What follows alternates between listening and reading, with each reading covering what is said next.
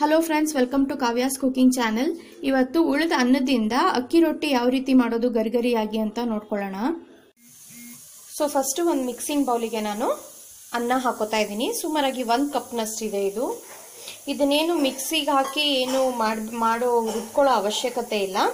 ಇವಾಗ ಇದಕ್ಕೆ ನೋಡಿಕೊಂಡು ರೊಟ್ಟಿ ಎಷ್ಟು ಬೇಕೋ ಅಷ್ಟು ಅಕ್ಕಿ ಹಿಟ್ಟು ಹಾಕೊಳ್ಳೋಣ.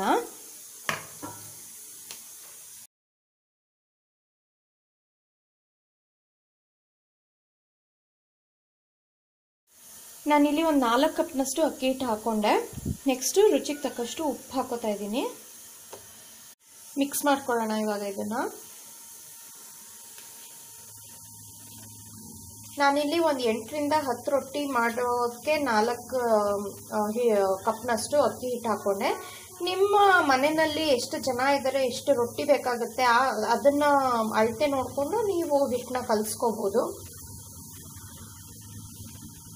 ನೋಡಿ, ಇವಾಗ ಇದು ಚೆನ್ನಾಗಿ ಮಿಕ್ಸ್ ಮಾಡ್ಕೊಂಡಿದ್ದೀನಿ ಅನ್ನ ಮತ್ತೆ ಅಕ್ಕಿ ಹಿಟ್ಟೆಲ್ಲ ಹೊಂದ್ಕೊಂಡಿದೆ.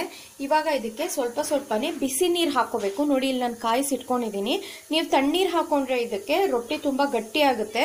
ಸೊ ಬಿಸಿ ನೀರೇ ಹಾಕೋಬೇಕು. ಸ್ವಲ್ಪ ಸ್ವಲ್ಪನೇ ಹಾಕೋತಾ, ತೀರಾ ಗಟ್ಟಿನೂ ಅಲ್ಲ, ತೀರಾ ಸಾಫ್ಟು ಅಲ್ಲ, ಸ್ವಲ್ಪ ಮೃದುವಾಗಿ ಕಲಿಸ್ಕೋಬೇಕು ಈ ರೀತಿ.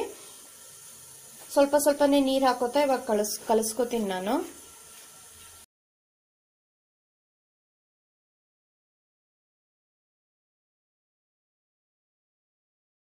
ನೋಡಿ ಈ ರೀತಿಯಾಗಿ ಎಲ್ಲ ಹೊಂದ್ಕೊಳ್ಳೋ ಹಾಗೆ ಇಷ್ಟು ಸಾಫ್ಟಾಗಿ ಕಲಿಸ್ಕೋಬೇಕು. ತೀರಾ ಸಾಫ್ಟು ಅಲ್ಲ.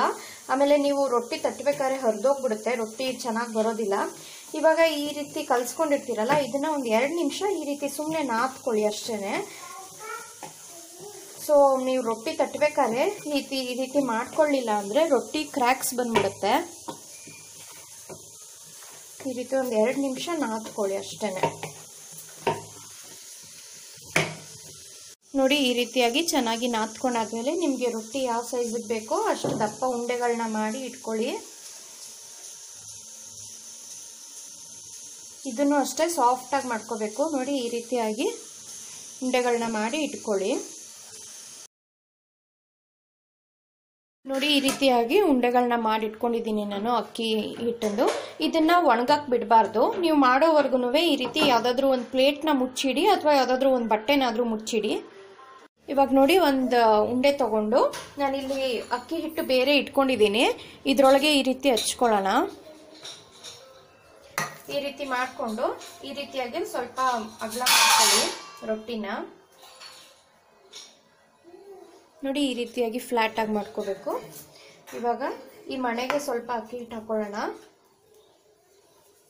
ನನ್ನ ಕೈಯಲ್ಲೇ ತಟ್ಟೋದು ಸೊ ಹಾಗಾಗಿ ನನ್ನ ಕೈದು ಹೇಳ್ಕೊಡ್ತಾ ಇದ್ದೀನಿ. ನಿಮ್ಗೆ ಈ ರೀತಿ ಮಾಡಕ್ ಬರಲ್ಲ ಅಂದ್ರೆ ಪ್ರೆಸ್ಸರ್ ಸಹ ಸಿಗುತ್ತೆ, ರೊಟ್ಟಿ ಮಿಷಿನ್. ಅದ್ರಲ್ಲಿ ಸಹ ಮಾಡ್ಬೋದು. ಇವಾಗ ಸ್ವಲ್ಪ ಈ ರೀತಿ, ನೋಡಿ, ಈ ರೀತಿ ಪ್ರೆಸ್ ಮಾಡ್ತಾ ಮಾಡ್ತಾ ಹೀಗೆ ರೌಂಡ್ ಮಾಡ್ಕೊತಾ ಇದ್ರೆ ಸಾಕು, ರೊಟ್ಟಿ ಅಗ್ಲ ಆಗ್ತಾ ಹೋಗುತ್ತೆ. ನಿಮ್ಗೆ ಹೀಗೆ ಕಷ್ಟ ಆಯ್ತು, ಕೆಳಗಡೆ ಕರೆಕ್ಟಾಗಿ ಸಿಗ್ತಾ ಇಲ್ಲ ಅಂದ್ರೆ ಮತ್ತೆ ಈ ರೀತಿ ಅಕ್ಕಿ ಹಿಟ್ಟನ್ನ ಸೆಂಟರಲ್ಲಿ ಇಟ್ಕೊಂಡು ನೋಡಿ ಈ ರೀತಿ ತಟ್ತಾ ಹೋಗೋದಷ್ಟೇ ಫಾಸ್ಟಾಗಿ ಆಗುತ್ತೆ ಈ ರೀತಿ ಎರಡು ಕೈಯಲ್ಲೂ ಈ ರೀತಿ ಮಾಡ್ಕೊಂಡ್ರೆ. ನೋಡಿ ಇಲ್ಲಿ ಒಂದು ರೊಟ್ಟಿ ಈಸಿಯಾಗಿ ಆಯಿತು. ಇವಾಗ ಇದನ್ನ ಬೇಯಿಸ್ಕೊಳ್ಳೋಣ. ರೊಟ್ಟಿ ಮಣೆ ಸಖತ್ ಕಾದಿರ್ಬೇಕು. ನೋಡಿ, ಇವಾಗ ಚೆನ್ನಾಗಿ ಕಾದಿದೆ ರೊಟ್ಟಿ ಮಣೆ. ನಾನು ಇವಾಗ ರೊಟ್ಟಿ ಹಾಕ್ತೀನಿ. ಹಸಿಟ್ಟು ಕೆಳಗಡೆ ಮಾಡ್ಕೊಂಡಿರ್ತೀರಲ್ಲ, ಅದು ಮೇಲ್ಭಾಗಕ್ಕೆ ಬರಬೇಕು. ನೋಡಿ ಹೀಗೆ ತಗೋಬೇಕು. ಇದು ಕೆಳ ಮೇಲ್ಗಡೆ ಏನು ಇಟ್ಕೊಂಡಿರ್ತೀರ ಅದು? ಹಸಿಟ್ಟಾಗಿರೋ ಭಾಗ ಕೆಳಗಡೆ ಹಾಕಬೇಕು.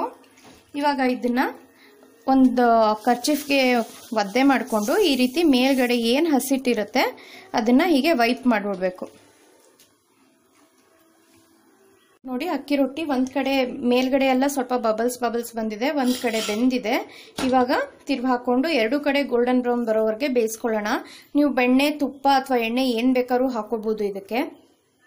ನೋಡಿ, ಇವಾಗ ಎರಡು ಕಡೆ ಗೋಲ್ಡನ್ ಬ್ರೌನ್ ಆಗಿದೆ. ನಿಮ್ಗೆ ಇನ್ನೂ ಚೆನ್ನಾಗಿ ರೋಸ್ಟ್ ಆಗಬೇಕು ಅಂದರೆ ಈ ರೊಟ್ಟಿನ ತೆಗೆದು ಈ ರೀತಿ ಡೈರೆಕ್ಟಾಗಿ ಒಲೆ ಮೇಲೆ ಇಟ್ರೂ ತುಂಬ ಚೆನ್ನಾಗಿ ಬರುತ್ತೆ ಗರಿ ಗರಿಯಾಗಿ. ನೋಡಿ, ಈ ರೀತಿ ಫುಲ್ ರೊಟ್ಟಿ ಎಲ್ಲ ಈ ರೀತಿ ಒಲೆ ಮೇಲೆ ಸುಟ್ಕೊಂಡ್ರಂತೂ ಇನ್ನೂ ಟೇಸ್ಟ್ ಚೆನ್ನಾಗಿರುತ್ತೆ.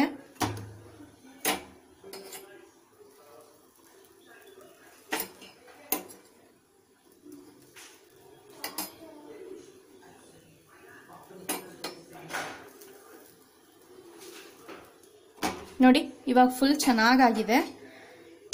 ಇವಾಗ ಇದನ್ನು ಸರ್ವ್ ಮಾಡ್ಕೊಳ್ಳೋಣ. ಇವಾಗ ನೋಡಿ, ನಾನು ಮೇಲ್ಗಡೆ ತುಪ್ಪ ಸರ್ವ್ ಮಾಡ್ತಾ ಇದ್ದೀನಿ. ನೀವು ತವಾದಲ್ಲಿ ಸಹ ಹಾಕೋಬೋದು ಬಟ್ ನನಗೆ ಈ ರೀತಿ ಮೇಲ್ಗಡೆ ತುಪ್ಪ ಸವರಿದ್ರೆ ಇಷ್ಟ ಆಗುತ್ತೆ. ಸೊ ಹಾಗಾಗಿ ನಾನು ಈ ರೀತಿ ಮಾಡ್ತೀನಿ. ಸೊ ನೋಡಿದ್ರಲ್ಲ, ಅಕ್ಕಿ ರೊಟ್ಟಿ ಗರಿ ಗರಿಯಾಗಿದೆ. ನೋಡಿ ಫುಲ್ ಗರಿ ಗರಿಯಾಗಿದೆ.